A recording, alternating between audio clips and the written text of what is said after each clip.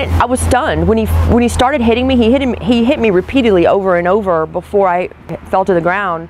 Sandy Burns narra cómo un hombre la atacó el domingo a las 5 de la mañana a solo un par de cuadras de donde ella vive. Dice la golpeó en la cara una y otra vez antes de que ella cayera al suelo. Ella ahora se recupera de todas las visibles lesiones que el sujeto le dejó en el rostro, pero que antes la mandaron al hospital. I knew enough to tell the police, you know, what kind of car it was and the tag number. Dice que pudo ver la placa del vehículo de su atacante y luego llegó hasta un supermercado en donde un empleado llamó a la policía, agrega, y le dieron auxilio.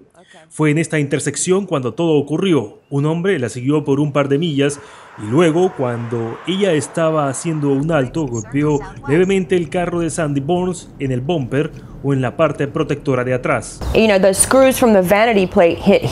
Ella explica que cuando salió de su vehículo vio a un hombre joven, Felipe Machado, a quien le dijo que no se preocupara. Cuando se regresó a su vehículo, él la atacó y se llevó su teléfono celular iPhone. La policía de Winnet dice que rastreó a Felipe Machado hasta este hotel a través del dispositivo GPS del teléfono. Fue aquí donde lo encontraron. A él le preguntaron si tenía el aparato electrónico, a lo que respondió que no. Un oficial de policía entonces marcó el número de teléfono y le sonó a Felipe en sus propias manos.